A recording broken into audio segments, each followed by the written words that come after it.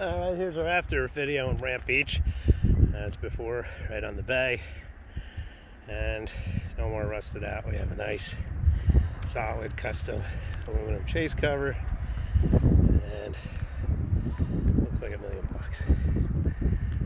Nice cross break, no holes, no more